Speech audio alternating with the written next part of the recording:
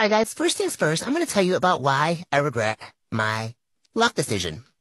So, first things first, when I first got my sisterlocks, like probably, I don't know how long it was ago, six years ago, I thought it was the best decision ever, and granted, it really was, until fast forward to where we are today, six years later.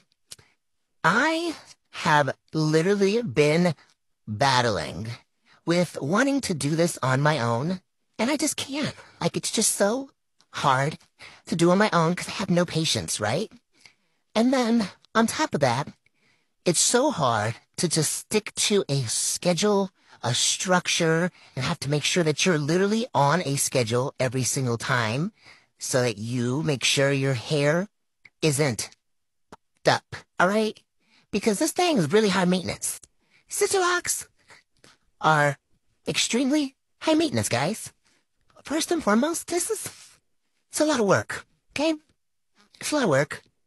I wish I wanted to do it myself, but who the hell got time to sit in front of a mirror for, hmm, I don't know, 12 hours doing this? I know some people that do it, and I just couldn't. It just couldn't be me, okay? I'd rather pay somebody $150, $200, whatever, to do it for me. But then that gets really pricey too, right?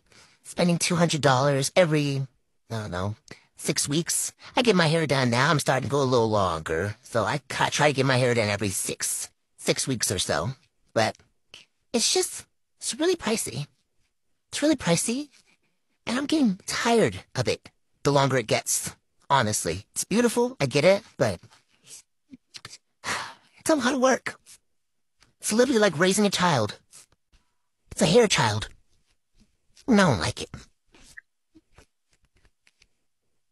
My dear child.